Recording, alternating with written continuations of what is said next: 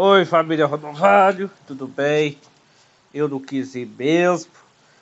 Eu aqui tô aqui na, aqui na Fazenda Boa Esperança. Fiz muitas notícias. É bom fazer chama atenção. Eu não tô decidindo fazendo falta da família Rodovalho. Tô aqui. É. Eu não tenho namorado, por isso que eu não quero mais reunir com a família Rodovalho. Eu prefiro ficar lá no balneário do Nona o comer o espetinho do Leonel. Quem quer saber de família Rodovalho, então? Tchau, com Deus.